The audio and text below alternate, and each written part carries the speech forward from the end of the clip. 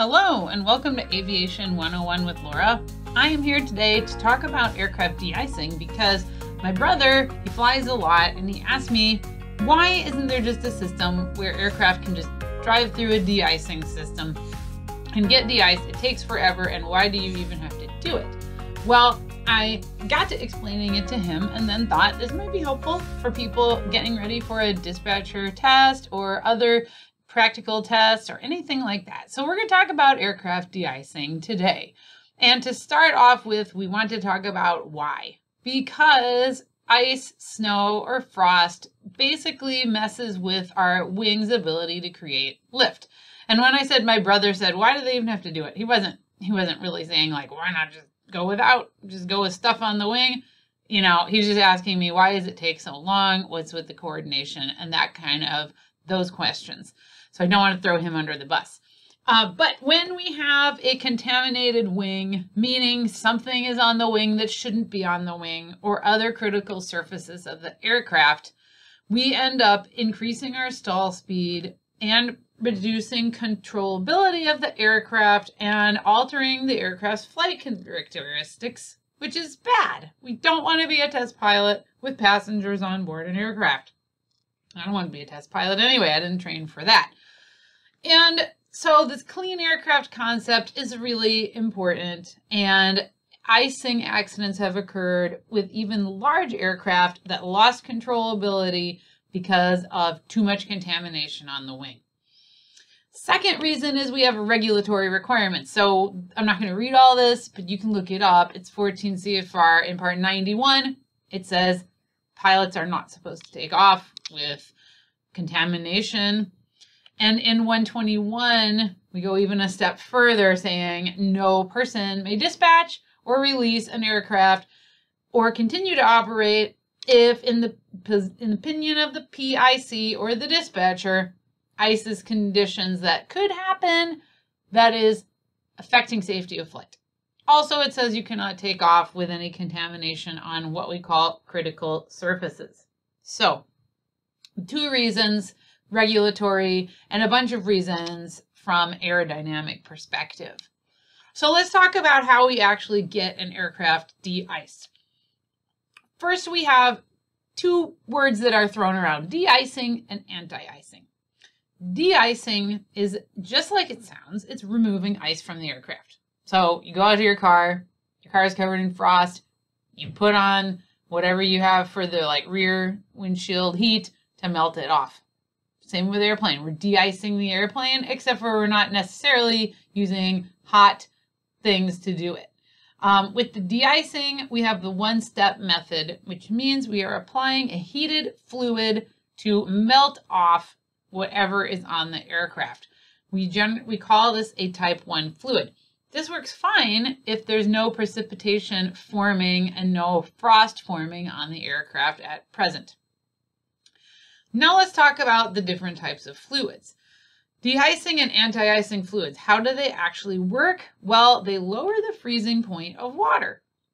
That would make sense because we want that water to freeze at a lower temp so we can remove it from the aircraft.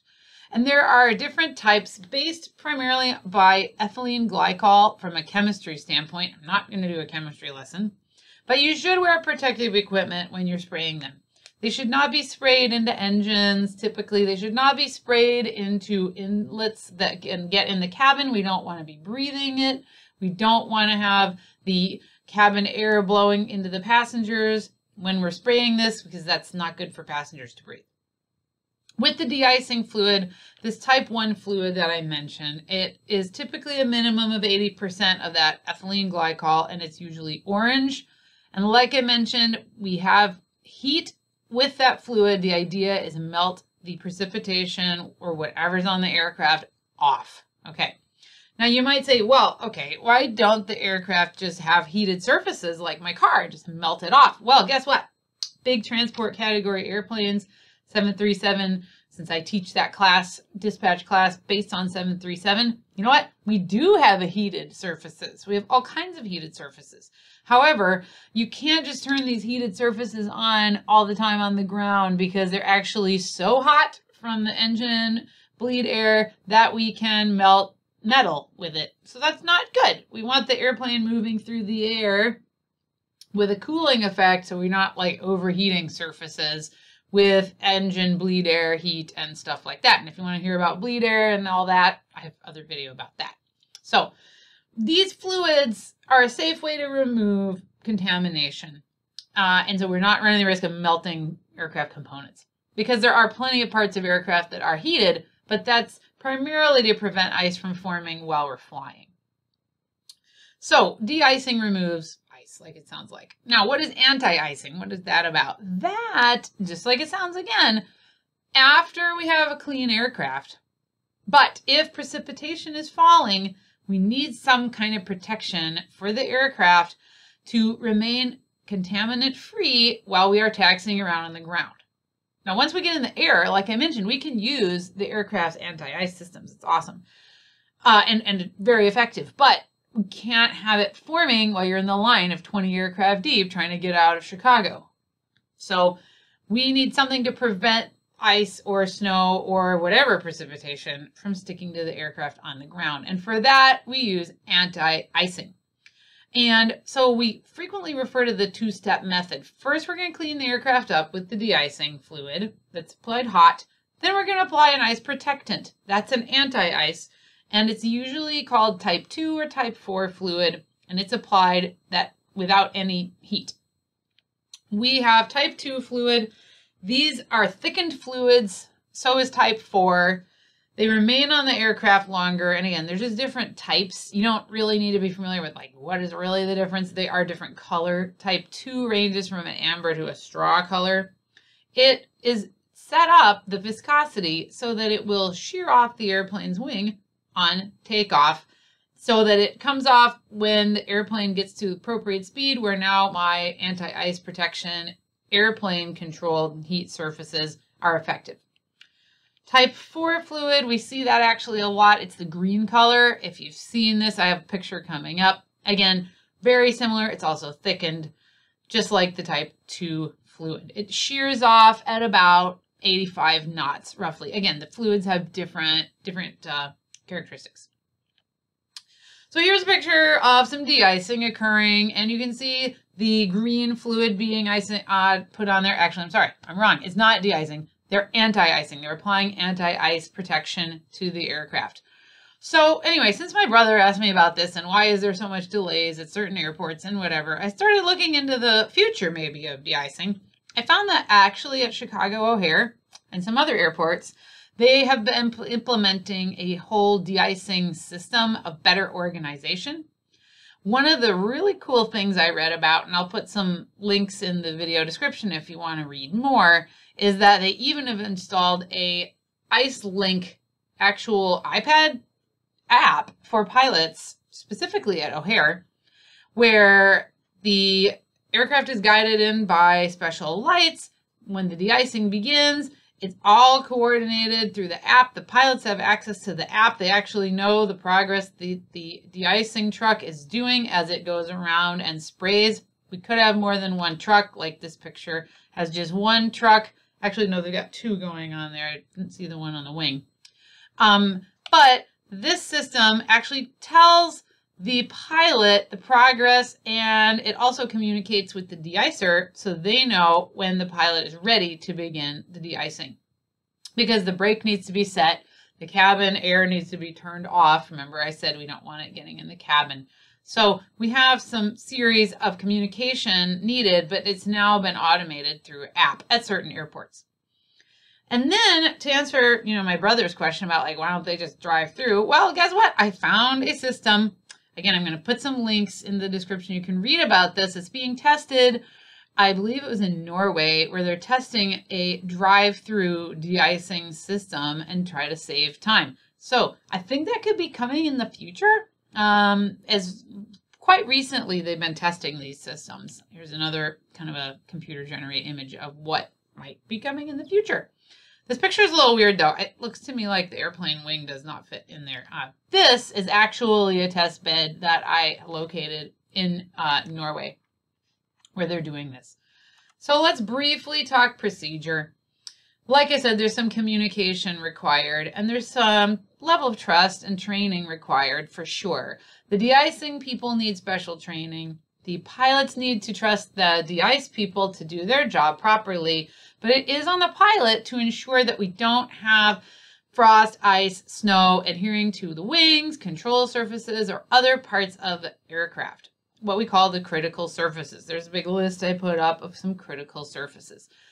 This means that after the process is done, we need some sort of inspection, and sometimes it means touching, tactile, sometimes it's visual. And when the de-icing process begins, the other thing you may hear about in the training for this is something about holdover times. That means how long is the fluid effective? Because we spray the anti-icing fluid on, it's a protection, right? But if precipitation is occurring, then it's hitting the anti-icing fluid. Every drop of rain, freezing rain, snow, whatever that's hitting, it is making that fluid a little bit less effective because it's diluting it by the precipitation that's falling. Depending on the type of fluid, what strength was used, and what type of precipitation is falling, we have a variable time at which that fluid will remain effective and protect our aircraft while we're in, in the big 20 airplane or whatever line to depart. This is called holdover time.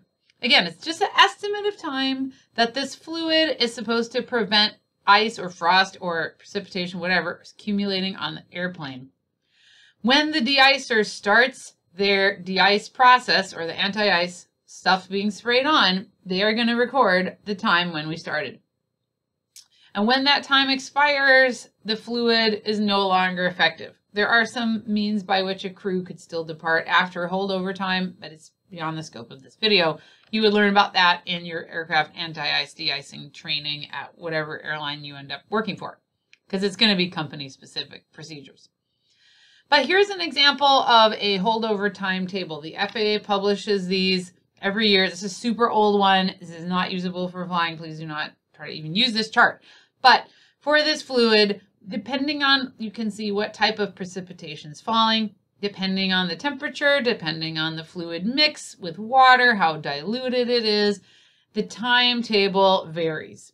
So it really depends, but it's important that the crew knows when the de-ice application or the anti-ice application begins because then they know how long that product should protect their aircraft on taxi.